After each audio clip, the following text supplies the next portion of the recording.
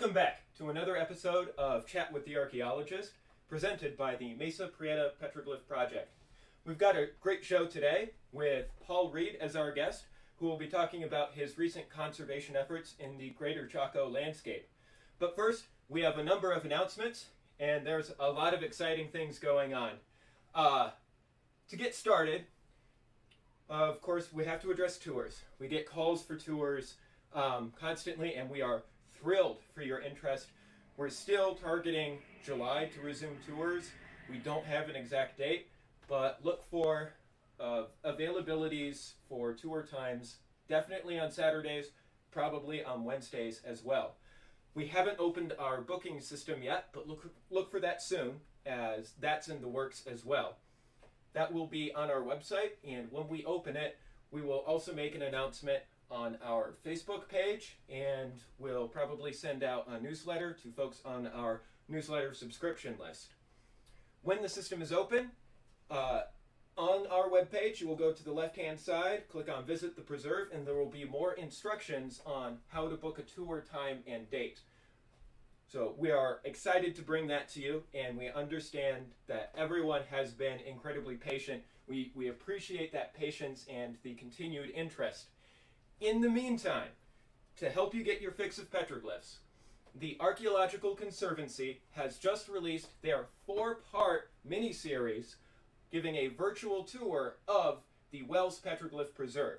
The Wells Petroglyph Preserve, owned by the Archaeological Conservancy, is where we hold our tours, where we will be holding our tours, once again, starting in July. So if you can't wait until July, be sure to head over to the Archaeological Conservancy's Facebook, Twitter, and YouTube channel where you can find a link to this series either as four individual uh, videos or as a compilation. We also have a link in the description down below to help you find it all the much better. And we thank you, everyone at the Archaeological Conservancy who came out and helped make this happen. It was uh, it was wonderful working with you all. And so, everyone in the audience, please uh, go over to that. If after watching that you don't get your fix, then I have more good news for you. Because this month we're going to be releasing two new virtual reality tours on our website. In order not to not steal the Archaeological Conservancy's thunder, we haven't released them yet. Look for those, the first of those, starting at the end of next week, and then another one following shortly. So those virtual reality tours, for those of you who uh, haven't checked them out, they are currently on a web-based platform. That means you can go to them on your computer, on your smartphone, on your tablet, what have you. And there are themed tours. So our existing tours are Heraldic Lions and Shield Bearers, and we'll be releasing two new themed tours. Uh, I don't want to spoil it. You'll just have to watch for them. And uh, so these will give you a sort of uh, a stop, a petroglyph panel to be featured in sequence, and then that you can kind of full screen. You can view it in virtual reality mode on virtual reality capable devices and really situate yourself in this immersive experience of not just the petroglyph panel, but the environment around it as well. So keep an eye out for those. Again, the first of those two new virtual reality tours is going to be released at the end of next week.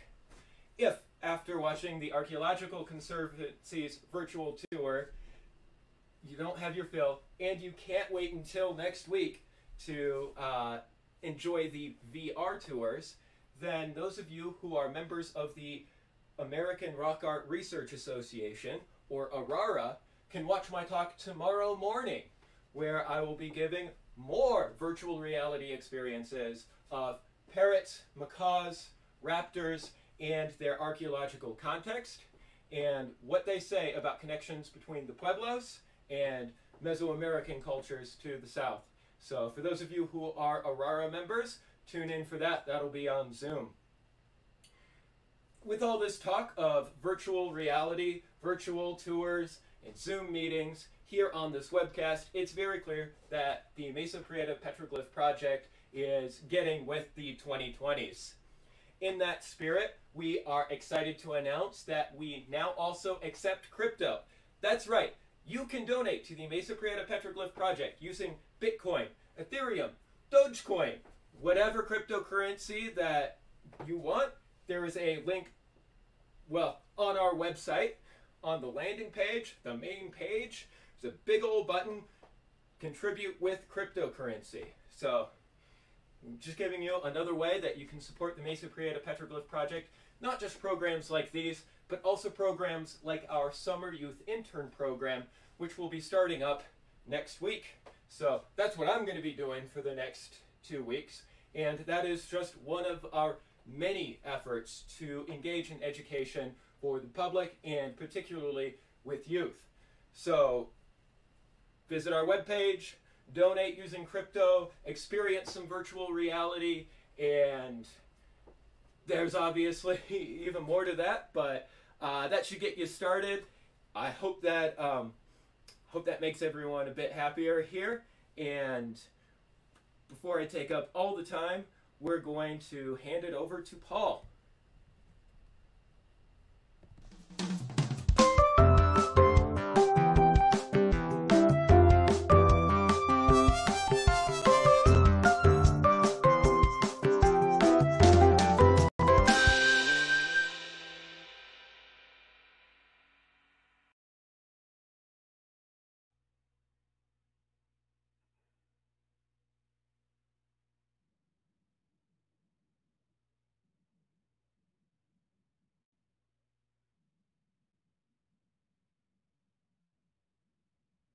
Yes.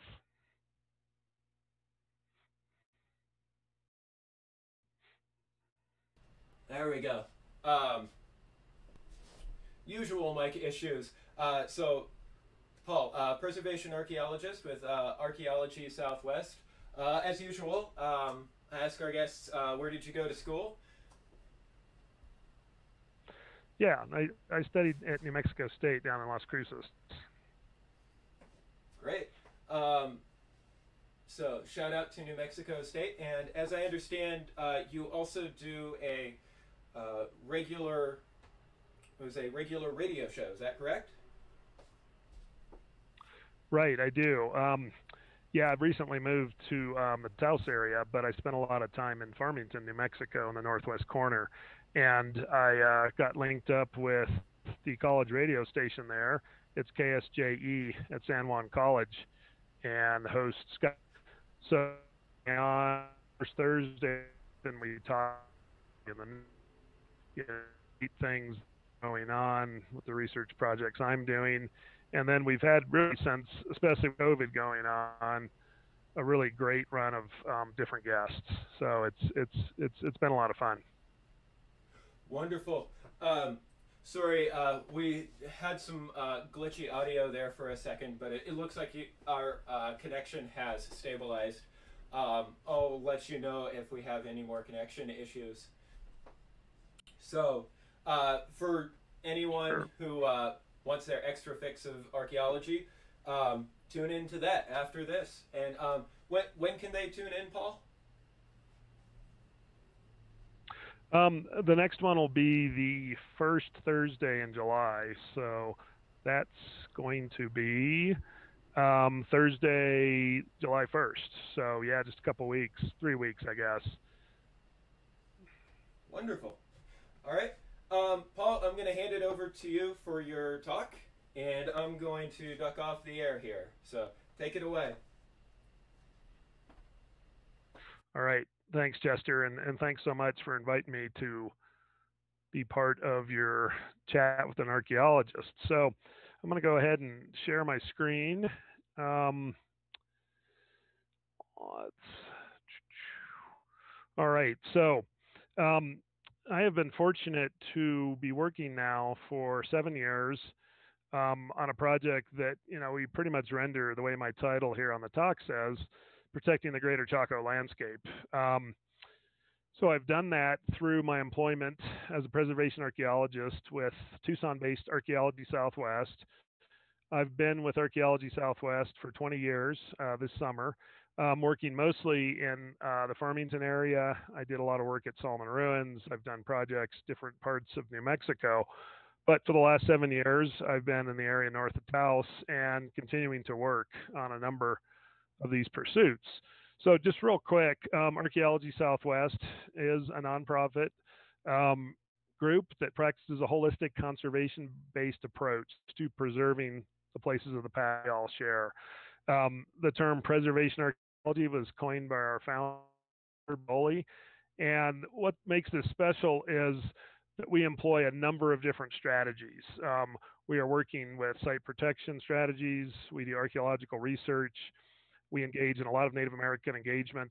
And, um, you know, like I'm doing with this talk with Chester, we do a lot of public outreach and advocacy. Um, and those are things that make Archaeology Southwest mission, um, you know, what we hope it'll be. So, as we've done work for the last seven years on what we call the Greater Chaco Initiative, we've had the partners that you see on your screen. Um, and you know, this is something that has really made our work, you know, as a single uh, individual nonprofit or NGO organization, really have so much more impact. And I think um, all of the groups represented on the screen would agree. We get together, um, we're in a coalition that works to protect Greater Chaco from mostly um, the effects of oil and gas leasing. And that's really what I want to focus on during this talk. Um, two of our part, central partners are in the middle of the screen the All Pueblo Council of Governors, which is the gathering of the 20 governors of the New Mexico Pueblos, along with Ysleta del Sur down in El Paso. And the Pueblo of Acoma has been a special partner for us for several years. So, what have we done? Um, well, over the last seven years, we've engaged uh, with the partners that I just discussed with you. And basically, our engagement has involved multiple federal agencies. So we work with BLM, BIA, the National Park Service, Forest Service. We've spent quite a bit of time engaging with New Mexico's State Historic Preservation Officer in Santa Fe and that and the folks in that office. We've worked with the New Mexico State Land Commissioner, um, Stephanie Garcia Richard, uh, since he's been in office three years now, has been an amazing partner, done a lot of good things. Um, we engage with um, our congressional delegation, and as I mentioned, we do outreach with um, tribal governors, with the Navajo Nation. We have an, a project in the works with Zuni Pueblo. Um, and then I do things like this lecture. Um, we do a lot of public lectures. I do tours to Chaco talking about the preservation issues. We've sponsored several public forums. We've had workshops. And then finally, real active press engagement. Um, we've had a number of op eds that have appeared in New Mexico newspapers, an article in Science Magazine, um, lots of articles going into Farmington's Daily Times, since Farmington is kind of at the epicenter of this effort. And then the other thing that we've done, more in the realm of archaeological research, is to um, acquire the funding through private grantors, and we've studied um, Chaco landscape and roads. So we did a LIDAR, you know, which is laser detection studies um, of indivisible, in nearly invisible features that we see on the landscape. Um, we completed an ethnographic study with the Pueblo of Acoma in the last couple of years. Um, we have one planned with the Pueblo of Zuni for later this year. And then last year, um, during some of the challenges we all had with COVID 19 and the pandemic and the shutdowns, we were able to get out into Chaco's 10 mile zone of protection, which I'm going to kind of zero in on later. Um, and we were able um, to work out there. And this is an area that does not have a whole lot of, of people living currently on land and really kind of an ideal place ultimately to practice social distancing um, over last year. So I'm an archaeologist. We need maps. Um, let's zero in here. So we've got Chaco Canyon right in here in the middle in red. And then what this map has for you um, is Salmon ruins as well, Aztec ruins. This is an area I've focused a lot of my research on. Um, what we've also have though are all of the pueblos and the tribes who live in this portion of um, the Four Corners area. So a lot of our work at Archaeology Southwest has focused on partnering with tribes, and we're in the process right now of trying to improve those partnerships, build on them, and develop more collaborative research projects um, like what we've done on Chaco. Um, so I'm going to fly right into it for you here. This is a flare. So this is an oil company burning off excess um, methane, natural gas, and what actually ends up being quite a bit of nitrogen as well. So just a quick, quick uh, technical primer here. When um, companies drill in to get oil, um, natural gas beds in with oil. There's really no way to separate them as they come up, you know, through whatever, however deep they've drilled. In this case, we're talking about the Mancos Shale Formation in the area around Chaco and up towards Farmington. So they go down about a mile, 5,000 feet. And in the process of bringing up primarily oil, in this case, is what they're seeking, there's a whole lot of gas that comes up. So this is, again, primarily nitrogen, but there's quite a bit of methane or natural gas. And because of the regulations that are currently in place, companies are allowed to go ahead and flare this, burn it off. Um, and this process usually lasts just a few days, perhaps a couple of weeks. And you know, I've had this explained to me by federal agency folks as a, a fairly minimal impact. The problem is this is a product that should be collected um, and should, you know, pay royalties um, into the public coffers, and that's not what's happening right now. Um, the other thing we have on the landscape is a pretty substantial footprint. So this is obviously an oil storage yard. You see a bunch of tanks, trucks, other facilities that are associated with how the oil and gas companies do their work. We have um, untold hundreds, thousands of these areas across the landscape in Greater Chaco. And it is part of the challenge that we're facing as we try to figure out how to protect resources. Um, this map is a couple of years old, actually, but I love the impact that this shows um, as we're talking about you know, the extent of federal leasing in the area. Um, the magenta that you see on the screen, these are all active leases. Okay, Chaco Canyon sits right in here in the middle of our screen, and you can basically see this magenta ocean um, of development that's in the area north of Chaco. Um, this has greatly impacted this ancient landscape. Um, another map for you. Um, this in blue shows what was on the prior screen in magenta. So again, you can see the extent of the oil and gas leasing that um, basically fills almost the entire screen from Chaco here in the center, going all the way up to the site at Salmon, which is here, over to Aztec ruins, and all the way to the Colorado state line. We're focused on New Mexico, but there are thousands of wells in southwest Colorado as well. So this area is a super active oil and gas um, development area. The first well was sunk um, out by Shiprock, right in here, not on our map, um, in about 1922. So we were literally at 100 years, pretty darn close, of development in this oil field. Um, so, you know, what are we working on? What have we been working on to try and address this? Um, we were fortunate to have um, a Chaco protection bill be drafted um, with various input from our organization, from the partners that I showed you in the prior screens, prior slides. And this was um, presented in the House of Representatives in early 2019. This bill essentially would remove 303,000, that's 303K acres of federal land in the circles that you see here with this little jog to the north. This would remove the federal lands from oil and gas leasing. And this would be permanent as long as this law is in effect. Um, this passed our U.S. House of Representatives with then Representative um, Ben Ray Lujan shepherding it, pushing it. Um, it got into the Senate and then stalled in the Resources Committee. Um, at this point, of course, the political situation has changed, and an updated version of this bill will be introduced by our new Congresswoman, Teresa Leger Fernandez. Uh, we think either later this month or in early July. Uh, Senator Lujan is going to introduce a companion bill in the Senate, and um, we're hoping that this, get, this gets through and that President Biden signs this. This would then provide permanent protection for these areas that are outlined in here. This would remove the federal lands, and I want to make be real clear about that because there has been some confusion. As you look at this map, the federal lands, the public lands, are in yellow. Um, these tan lands are Navajo Nation, so with the reservation boundary somewhere out here, and then a mix of uh, Navajo Nation allotted lands, which are very close to private, but which are individuals who have allotments that date back to the 19th century. The blue lands are state lands. So we have in this area what people refer to as the checkerboard. It's a real mix of land jurisdiction. So this federal bill begins the process of protecting these lands. It what it does not do, it does not impact any Navajo Nation tribal members who have allotments or lands they hold from doing different types of development. And that has been unfortunately reported in the media and incorrectly so.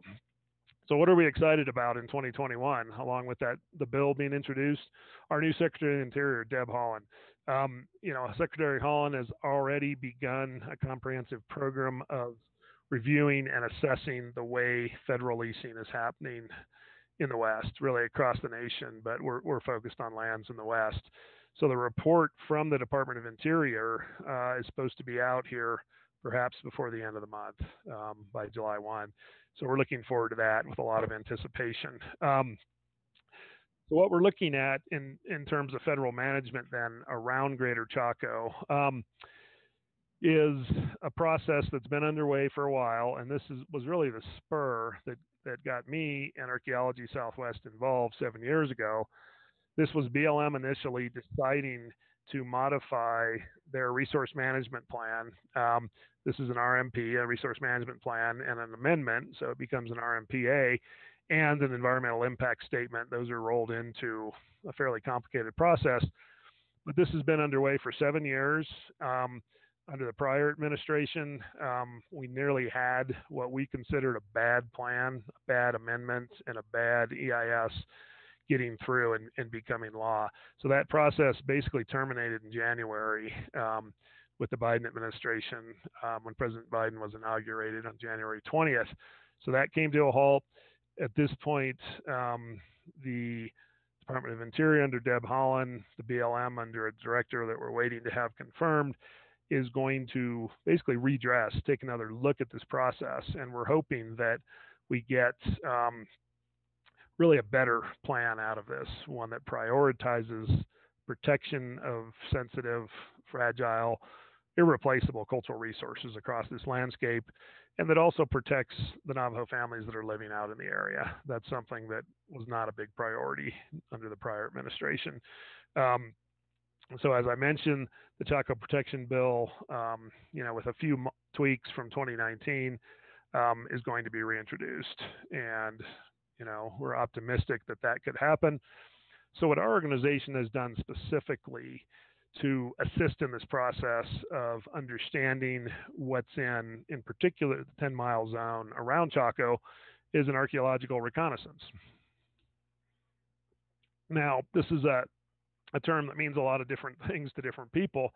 In an archaeological sense, this is different from what we would call an intensive pedestrian or walking survey of as many acres as we could do. So I know with the work that's been done out on Mesa Prieta that there's been a lot of intensive survey of most of those lands. So in Chaco's 10 mile zone, um, that area, those three circles on the map that I showed you encompass an area of almost 700,000 acres.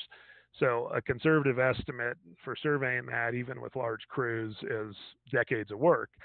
And what we have in there, as you see on the screen here, is roughly 4,200 known archaeological and historic sites, hundreds of tribal traditional cultural places and properties. So instead of trying to bite off a huge project, and you know, we would have been really unable to survey more than a tenth or a tenth of a percent, a uh, tenth of a tenth of a percent of this area. Um, my focus was on the known sites and some of the known communities in the area and areas that to this point have had no additional federal protection. So we have a number of sites that are part of what's called um, the Chaco Culture Protection Sites. And these are areas that uh, have extensive Chaco and great houses and other remains and are under some kinds of federal protection. Many of the sites in this area are not. So that was an area um, that was really our main focus. What we have in this area then, with these roughly 4,200 known sites, and I'm going to throw out a number, perhaps five times, 10 times that number of additional sites, so perhaps tens of thousands of other sites. We have episodic use of the area by a diverse cultural group, um, many diverse groups. Paleo Indian way back between 5,000 and about 12,000 BC. We've got archaic groups from 5000 BC into the more recent era. We have Pueblo folks on the landscape from 600 BC. We have the Navajo, we have Jicarilla Apache, and we have many others. In this long period of occupation. What we also have then with many of these scattered sites is at least 10 significant ancient Chaco Puebloan communities and dozens of dispersed Navajo homesteads, outfits, and communities. So, really quite an extensive cultural resource um, area. This is a map that shows, um, with some blurring so that we don't give away site locations, what we know of in our New Mexico site database at this point. And this is information that I acknowledge um, the New Mexico uh, Office of Cultural Affairs and the folks who work on their state database. Um, Derek Pierce, in particular, their manager. So these areas of red and sort of faded red and pink show give you a rough sense of density. And um, Chaco Canyon here, the Chaco Culture National Historical Park, is here. I excluded those areas so we could rather highlight the area around it. So we have, you know, pretty significant clusters of sites um, and ancient communities, more recent Navajo communities. Most of these don't enjoy any additional level of federal protection that happens just anywhere on our landscapes. And that's one of our concerns. Um, so, as part of this work, then I went in and I wanted to assess these clusters of sites, and you can see some of those identified here Split Lip Flats site cluster, one that's uh, called Northeast of Chaco site cluster. There are known communities that have been studied by others the Bisani community here, the Pierre's community, um, one called Kin Indian, Escavada, Greasy Hill community. These are areas where fairly dense concentrations of people lived on the land at different points in time. So these are these tend to be natural focal points for study. And again, with the exception of Pierre's and Bisani, none of these places enjoy any additional level of extra federal protection. So that's where, as I show you the boundaries here of at least the prior 2019 Cultural Chaco Cultural Protection Act boundary, this is why we need extra protection for these areas. Um, just zeroing in for a sense, for a second here, we've got Pierre's community. This was defined initially way back in the early 70s. Um, and this is just showing you a rough boundary. Again, we don't reveal site locations out of concerns for protection. There's 166 sites in this area. Um, giving you rough acreage, this is an area roughly uh, 400, 500 acres. So what we'd say archaeologically is a pretty dense collection of sites. These are not all from the same time period. That's why it's called a site cluster, not a community. Um, there's been work done defining the Chacoan, Puebloan, Pierre's community. Really not any work on the other communities. There are sites as early as 5000 BC. There's a very interesting Basket Maker 3 um, period there is an early Navajo site that dates, I think, right in the late 1500s, early 1600s. There's a lot we can learn from this. Um, and then one of the other things I want to highlight for you on the map is um, this area in green. Um, this is an area of critical environmental concern, or what we term an ACEC. These are defined on BLM lands in the American West as areas that need special treatment. So in this case, this one in the middle here was defined to capture the core of the Pierre's community, of the ancient Chacoan community there. This community roughly dates from the late 900s to the mid 1100s. Um, and then the area going up here is part of the North Road, which comes out of Chaco Canyon and hits this point at Pierre's about 10 to 11 miles north of Chaco, then continues all the way up um, to the edge of Kutz Canyon. Um, I highlight this for you though because here's the known extent of sites, and here's the area that the federal agencies, BLM in this case, have decided chosen to set aside for protection. You can see this slices right through the middle, but it really doesn't cover enough of this community to constitute what we would call uh, good good protection for this durably. Um, map here I want to highlight by one of my archaeological colleagues up at Crow Canyon. Um, Kellam Throgmorton worked with me on this. So this is the Pierre's community. Let me shift back for a minute. So this map is going to sit right in here in the middle of our frame. Um, this, of course, is an aerial photograph, so you can see Chaco and Great House is here, here, Here is the Great North Road alignment coming up, being difficult to detect as it continues north. There are features up on mesa tops here. All these square rooms are elevated features, and then just a number of small pueblos in this this very dense um, Chacoan pueblo and community. Um, another area um, that I've termed the Split Lips Flat cluster. Um, this one must have had some interesting history to have made for that name Split Lips Flat. Perhaps some some dry, dusty walking uh, and some thirst leading to those split lips. This is an area of 267 sites, so quite a few more than the Pierre's cluster.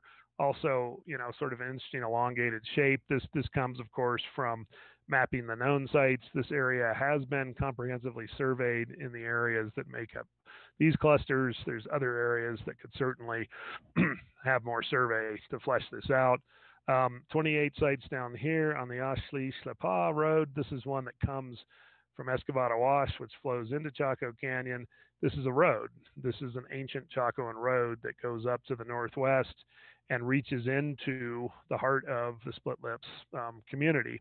There is not, interestingly enough, what we would term a Chacoan Great House or central site location in this site cluster. Um, so this road has been somewhat of an enigma as folks have tried to study it. Um, again, though, this is on the map and in my discussion to highlight, you know, this is an ancient Chacoan road. Here is a BLM ACEC one of these areas of special environmental concern. Here's the one from Pierre's to Orientis. Okay, here's a section on the North Road where the road was clearly visible on the ground. Where it's not visible, BLM chooses to offer no protection, which I think is a little bit problematic. And then with this, you know, this long area of, of road heading into a pretty dense site cluster, and again, sites of multiple time periods, we have a relatively small ACEC identifying some cultural concerns. You know, it could be environmental concerns. In this case, they're cultural. This area is not adequately protected, in my opinion.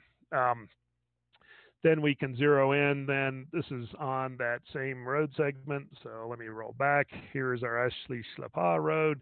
Here's another outstanding map by my colleague uh, Kellam Throgmorton. And here is where the road trends up through here. Here is a ramp that descends down to cross Escavada Wash, going up, going up, going up. So Kellam brings some great mapping skills to this. This is a site known as Los Aguajes um, for collection points, basically potholes that collect water.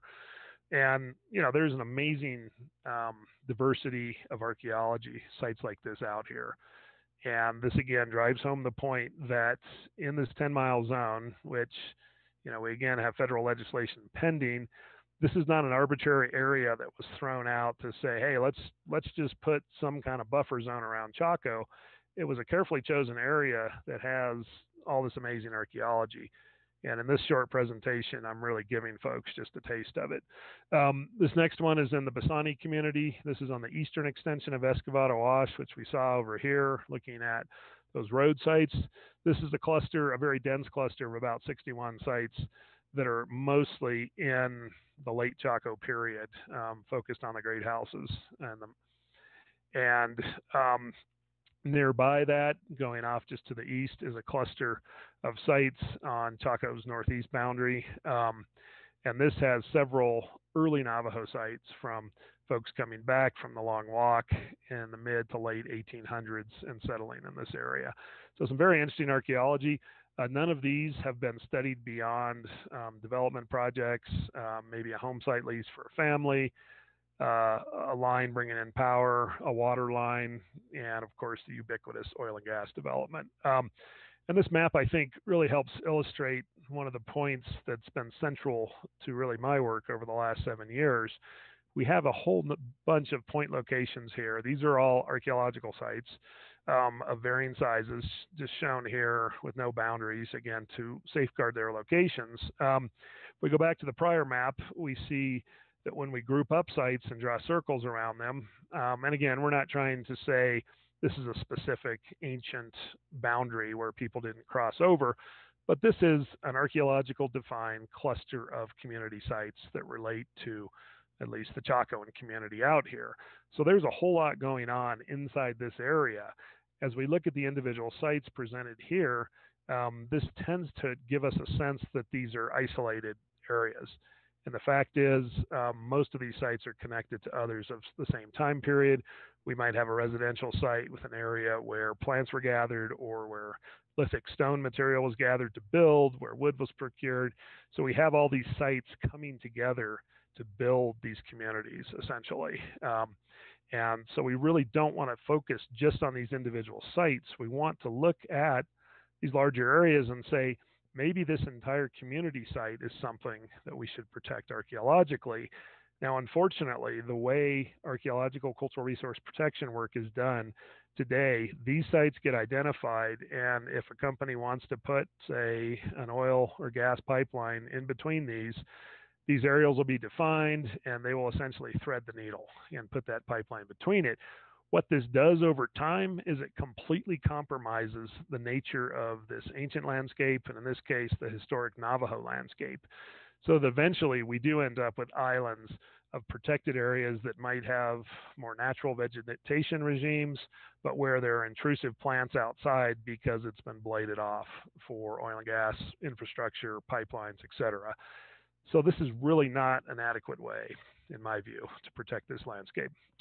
I am going to stop there. This is a closing slide of a 3D reconstruction by a, a colleague at Archaeology Southwest, and I am glad to take questions when we get to that part of the segment, Chester, or proceed. Let me go ahead and stop my share.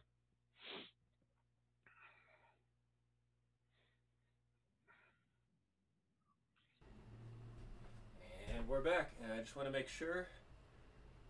Uh, yeah, okay, we've got sound. I just have have to double check that. That's my uh, my number one error here. I'm going to check the chat sure. for some questions, and uh, I actually think I have a few questions for you too, Paul. Um, Good. I don't see any here, but um, uh, Paul, I'm assuming you're familiar with uh, Ruth Van Dyke's recent work on the Greater Chaco soundscape. Um, is that something that you could uh, share with our audience? Is is that complementary to your work? It, it, definitely is, and in fact, for the work at Pierre's, um, let me actually roll back if I can, Chester, if that's not too big of a problem. Um, let me.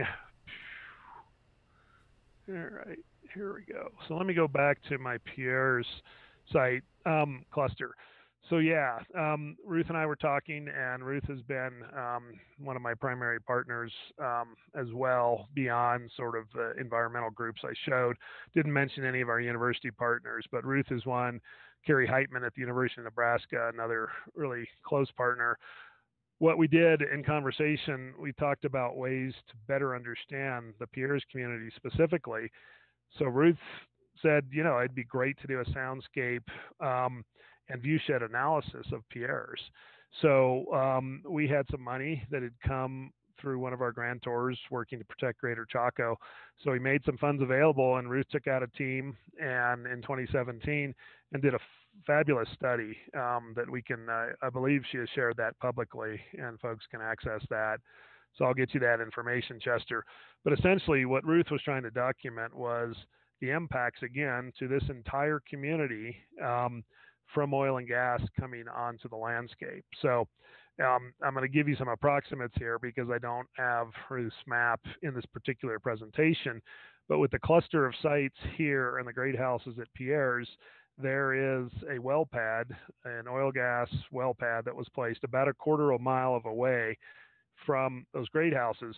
When you go out there on a day where the wind isn't blowing and you're out, as many of us are, to experience an archaeological site, you want to get a sense of um, perhaps why the Pueblo builders chose this location, you know, and, and trying to understand it in its landscape. You climb up on the mesa, you're trying to get a grasp on what, you know, this fairly small great house, a little oxymoronic there, but it's a, one of the smaller great houses in the Chaco world, but an amazing structure on a mesa. Um, in fact, it's in my, my background here. This is the site at Pierre's. Um, and you go up on there you're looking at the architecture, the wind dies down, um, you're trying to experience it, the first thing you hear is the thumping of the well pad here um, about a quarter of a mile away. Now, that was considered when it was placed in the mid 80s as a far enough distance away, you know, to quote protect this archaeological site. But you know, as we look at this boundary for the Pierre's community and the site cluster, the well pad is well within the boundary of this. So I think what 1980s um, Bureau of Land Management archaeologists, and again, not to cast aspersions, but I think they weren't envisioning the landscape the way we do today.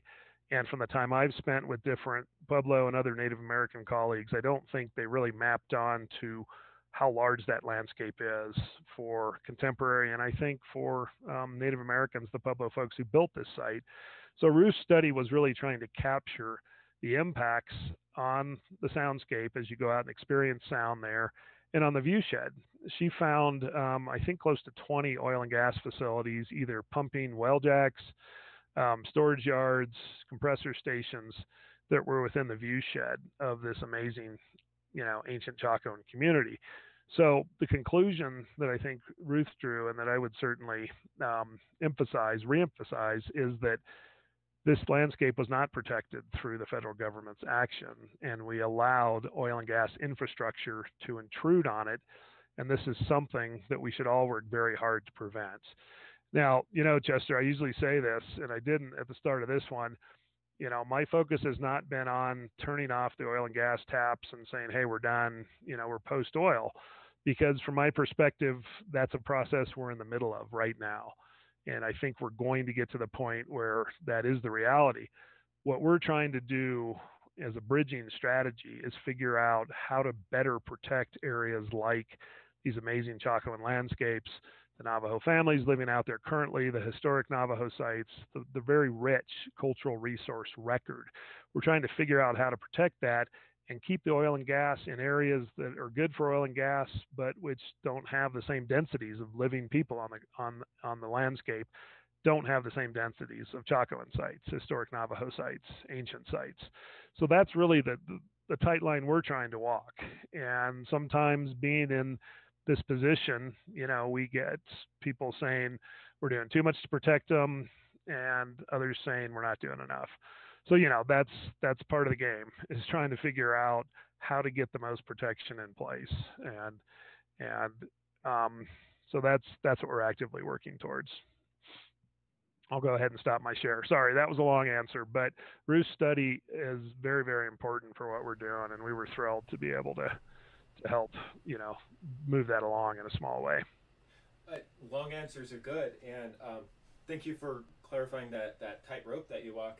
Uh, you were talking about the intrusions into these uh, areas, and you know that kind of, uh, and, and, particularly earlier you mentioned the impacts on the vegetation, and uh, so that's something I wanted to um, maybe bring up briefly is uh, about the, say, this equipment coming in and not just uh, disturbing the soil itself, but also bringing in the potential to introduce invasive species. Was any any of that a part of your study as well?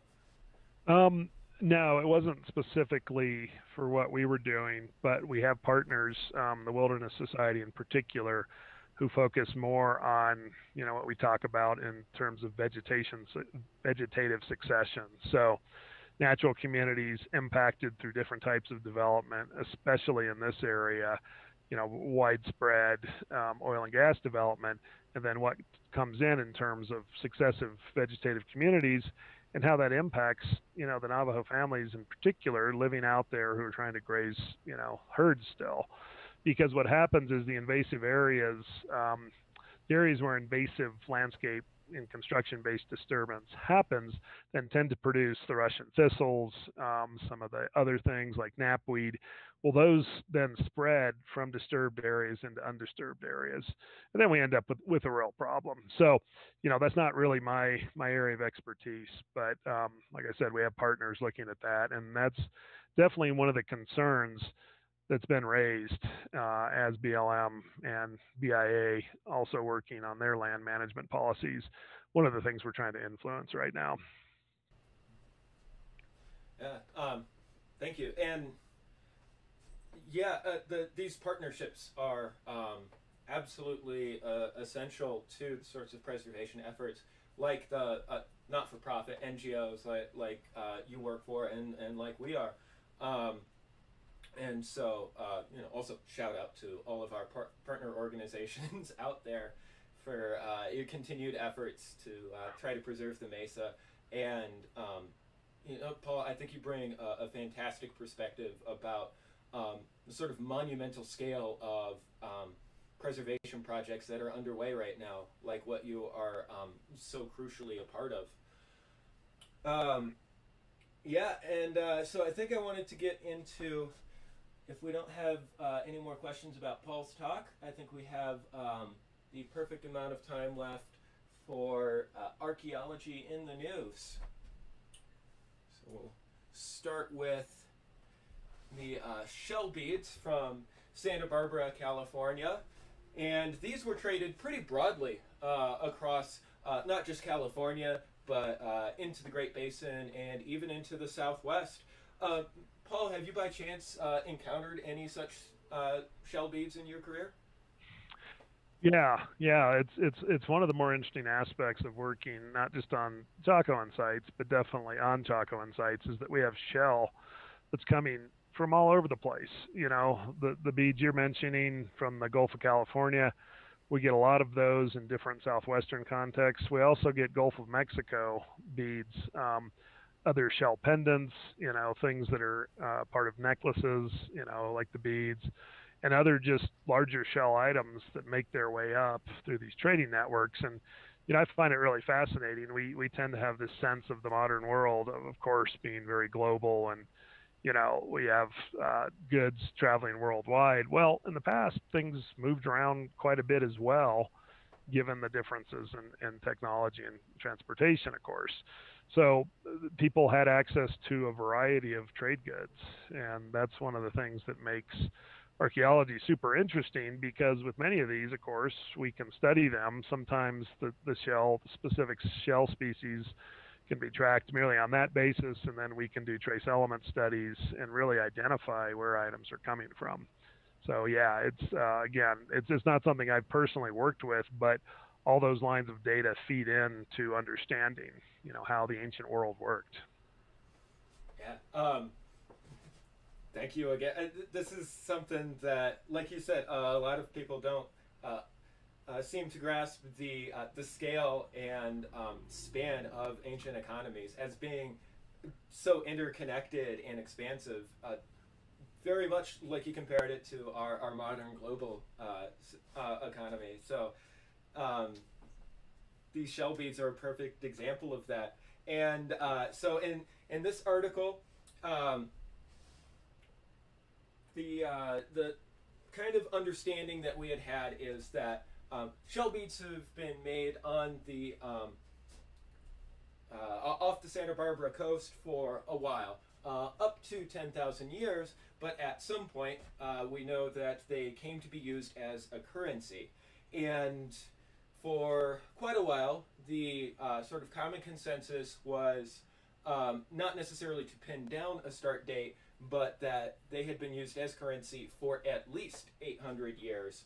So beginning about um, beginning about 1200 AD, and this study, which was done by um, let's see here, this study was done by Lynn Gamble who's kind of a, a powerhouse in California, uh, especially coastal archaeology, uh, kind of re-examined some existing collections of these shell beads, like we talked about, that uh, don't just occur um, off the uh, the Santa Barbara coast right there, off the channel, but they get traded far into the interior, into um, into the southwest, um, and so yeah, uh, she studied these collections uh, and the uh, ones that could be sourced as having been made in this area, and what sort of standardization was involved.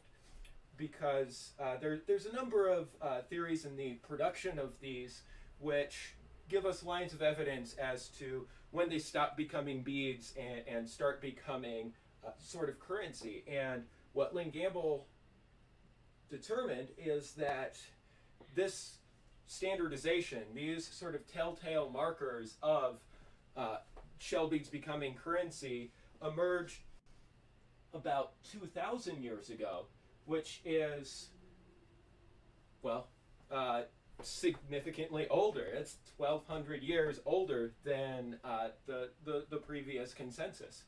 So that's, I mean, that's pretty incredible. And that's kind of kicking off the theme of these three articles, I think. Um, uh, stuff that's older than we initially thought it was. So then our next article, and uh, Paul, would you like to uh, take this one on the uh, turkey bone tattoo implements? Right. Yeah. This was a this was an amazing find um, in Tennessee um, of turkey bones. Uh, you know, from way back in the 80s, and um, that they had finally been able to date. And the dates came back between about 5,500 and roughly 3,600 years ago. So we're talking to fit it into a scale for folks, you know, sometime 2500 BCE, somewhere in there. This is very early for um, tattooing tools. Um, I'm personally acquainted with a set that are in um, the Aztec Ruins Museum that came out of Aztec um, that date probably in the 1100s, um, you know, CE or AD. So much more recently. Um, you know, we know, of course, that tattooing has been an important part of um, identity for really almost every group that's been studied. You know, where we've been able to, to find the tools or or the skin where folks have actually the tattoos have actually survived. Um, you know, big part of identity for a long time in North America and, and down in South America, worldwide as well. So what this tells us is, yeah, this is a, this is a much older practice that goes back in time, and of course, this is one of the things that um, really fascinates people about archaeology, and certainly many of us um, who are archaeologists is trying to push back the limits of when we first can detect, you know, this particular artifact, this kinds of behavior, and for me, you know, the artifacts are important clues for that, but I'm ult- I'm ultimately interested in the behaviors that are part of that and how groups were signaling different things. So yeah, I think that you know, and I I know that uh, members of the public who are engaged in this, you know, realize this. But when we talk about firsts in archaeology, and I'm putting parentheses around that, we just have to be real careful because basically when we, we have these firsts and we're talking about it, it means that what we're working with is the best dated earliest example of a particular item. In this case, the tattooing tool, tools from Tennessee on turkey bones. I wouldn't be surprised at all to have other tools pop up in the right context somewhere else in North or South America and push this back by 500, 1,000, even a couple thousand more years. So so when we do talk about these things and we're writing what are essentially these histories of the past, it does kind of behoove us to say and, and be fairly careful in our language and say, here's what we know. This seems to be the first occurrence of this, but but not to necessarily, even if we're the folks finding it and maybe the ones you know, a lot of the work I do in preservation archaeology and my colleagues do is we go back through museum collections, and I think that was partly what happened here um, you know, with some collections from a site dug, you know, more than 30 years ago. So we go back and we're essentially trying to do archaeology on the collections themselves and find interesting things. And honestly, we're trying to reduce impacts to sites and not do so much excavation, which you know many of our Native American colleagues and friends tell us is, something that doesn't necessarily have to occur. So if we're doing that kind of work, working through the collections, we're going to find a lot of very interesting things. Um, and I think we're going to learn um, a lot about that. But we need to be careful when we use the word first that we're we're qualifying it and realizing this is what we think is the first. Um, but you know, then let's build our story from there, but not necessarily get too hung up on that. So, uh, for our audience, even though this pushes back the earliest known tattooing in North America by about a millennium, that uh, this could be one of those instances where, uh, in fact, it's quite likely this is one of those instances where it was occurring before then, and there may even be evidence that's older but not as firmly supportable, uh, a little bit shakier. Maybe the um, maybe the materials are a bit more degraded, and so this is something to Uh, thank you, Paul, for, for reminding our audience about that, and, and for reminding our colleagues, because um, of course there's there's always a push to be the the best, the biggest, the oldest, and um, for the for the sake of scholarly rigor, it's uh, great to have that reminder to kind of uh, check ourselves, even when we have something that might qualify of, you know, this is earlier than the the previous evidence, but you know,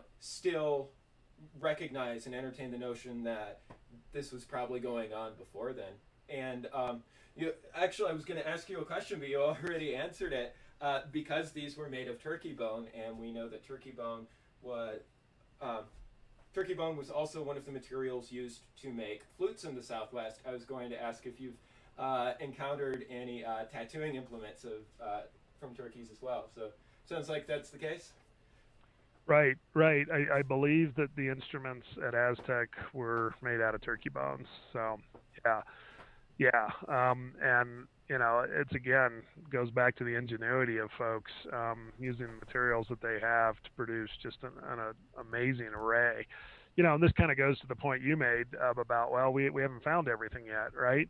And we've we're only going to find probably doing archaeology you know, take your pick, something less than 10 or 15 percent of the items ever in use at a particular locale if it's of a certain age. So, you know, for some people that might fill them with a sense of despair. Uh, but what I think is really cool is that, you know, by doing the right kind of research and innovative research these days with the technology we can bring, especially the non-destructive technology from those 10 or 15% of, you know, what might be a total artifact assemblage that we're never going to see, and then what do we do, Chester? We, we, we try and tell good stories and have those stories be supported by the data. But, um, you know, none of us should get too far away from the idea that we are making good inferences and telling good stories about the past. But I wasn't there. You weren't there. So we do the best we can. absolutely. I feel absolutely. I feel like I got uh, some of the same words from from my advisor uh, uh, advisor uh, Judith Habicht-Mauche about like what do we do? We tell good stories. Um, so uh, right. wonderful words. So all right, from uh, revisiting collections to revisiting sites, here is the uh, pictograph from Sulawesi, which the the author of this article, um, Viviani, had been a part of a team that documented back in the 1980s. And just a few years after, the uh, uh, uh, another group, uh, I, I, believe it was a local group, had uh, decided that uh, in the interest of preservation, that they were going to retouch the, the pictograph. it was only uh, years later, in fact, I, I think in the last uh, maybe four or five years, that uh, some pictographs similar to the one that, that you're seeing here were dated to about 44 to 45,000 years ago, uh, making them uh, some of the oldest in the world, and especially uh, such as this example, which is the Maxine, Maxime Aubert or Maxime Aubert uh, photo in um, in the article that uh, this might be one of the earliest depictions of a uh, of a quadruped, and the, um, similarly there might be um, the earliest depictions of a hunting scene uh, known in the world. And so, what happens when we get these uh, these efforts for preservation uh, I bet our audience is going to remember the uh, the famous instance with the uh, the painting that was rather inexpertly restored in uh, was, was, that Italy? Um, and these things happen time and again. And even when it doesn't uh, detract from the visual quality, this impacts our ability to revisit with these new methods to be able to date these things. Um, you know, Paul, as you said. Um, back in the 1980s, uh, federal land agencies weren't taking into account the uh, sound sheds and the view sheds. And in fact, that's uh, fairly recent in North American archaeology, at, at, least the acoustics part. We also now have um, X ray fluorescence, which is a way of getting the material composition of what uh, pictographs like this one were made out of, which was something that was not really available to archaeologists, at least not as a portable device, uh, in um, in the 80s when the uh, when the author uh, visited this. So this was a, a, an interesting kind of like retrospective piece, and um, so, um, the author kind of goes into some bittersweet feelings about you know being a part of documenting these things, but also you know what's going on. And then uh, finally, that the uh, the rate at which these have been degrading. After all, again, they're they're 44 to 45 thousand years old, some of them.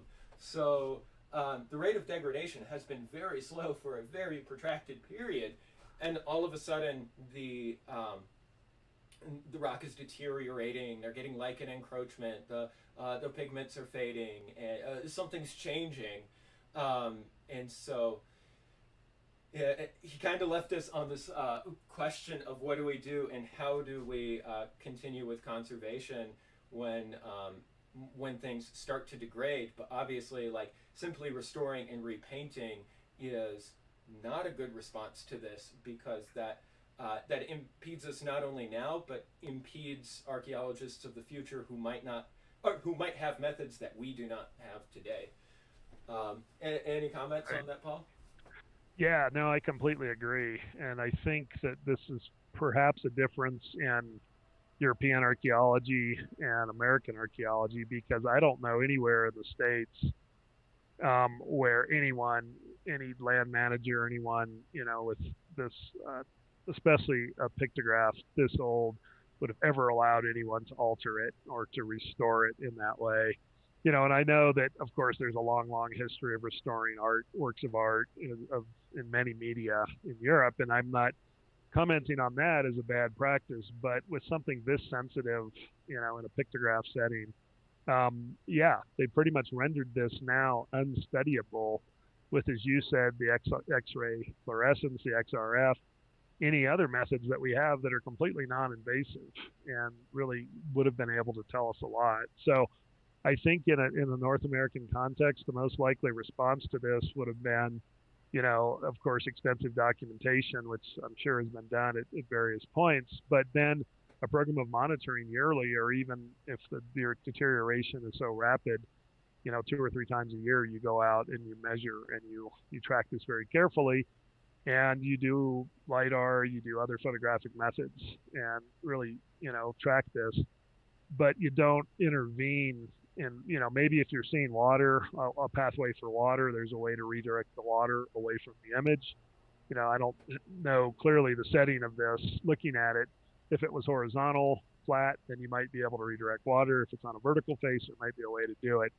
So there would be a number of indirect methods, I think, to mitigate some of what's going on. And you might ultimately decide it's not mitigatable, um, but to alter it and to quote refresh it or restore it is is as you said pretty unthinkable in our world.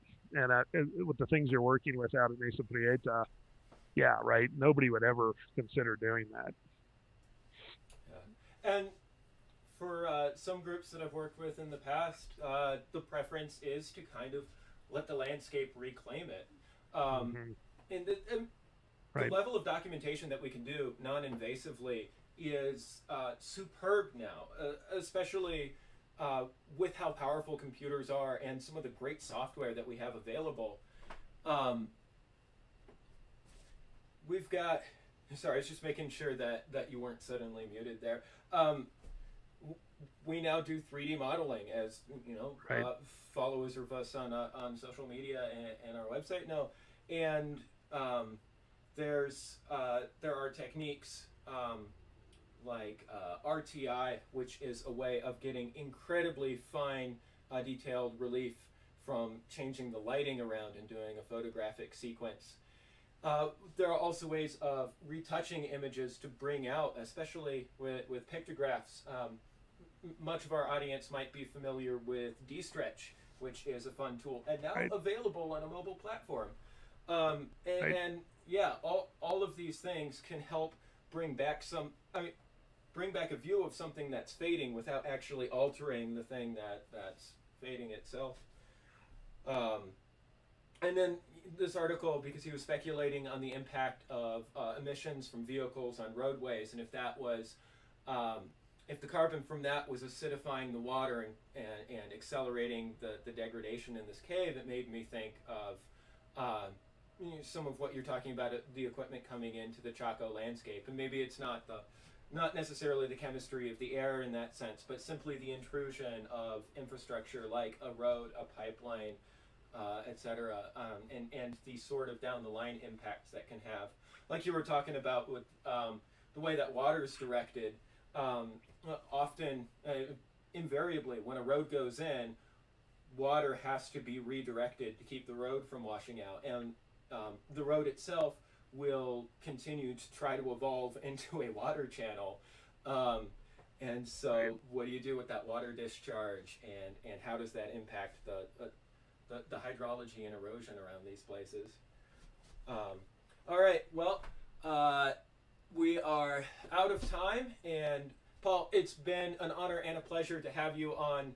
Um, if people want to reach you and if they want to support Archaeology Southwest, how should they do that? Yeah, great, Chester. It's been my pleasure and honor to be on with you.